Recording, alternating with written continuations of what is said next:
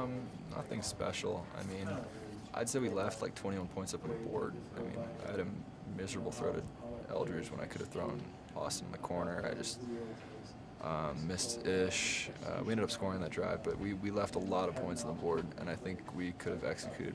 I could have executed much much better. Um, and I mean, we didn't run the ball for very many yards, but it's also because they weren't very threatened by our vertical passing game that just wasn't connecting.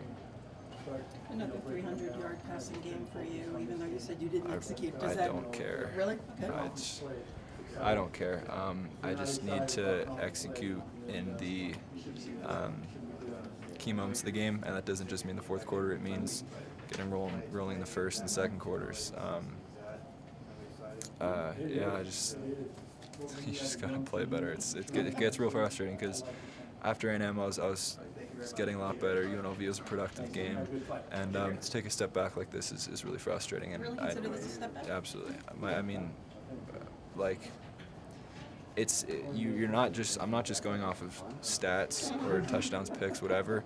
It's just going on film how many coaching points there are in the game. I mean, if I throw for, if I go 10 for 10 for 80 yards and no touchdowns, and that's what I needed to do. I consider that more successful than going 25 for 50 and 350, 400 yards and three touchdowns, two picks. Like it's it's all relative. I just I wasn't executing what I was asked to do today, and it's it gets really frustrating because the coaches are the coaches are trying to get on you, and you know that they're just trying to help you out.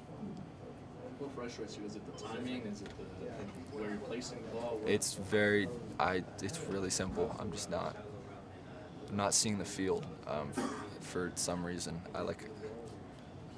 I, I don't know. I just got to work on it. I'll drop back, and sometimes it just.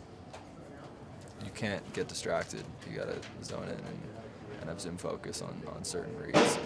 And when you try to look at the big picture, you end up really seeing nothing because you have to zone in on reads. And when you see the big picture and you see nothing, a lot of time that scrambles your throw and doesn't look as good as you want it to. Did they give you any different looks than you expected to see? Nothing. They actually pressured a lot less than we thought.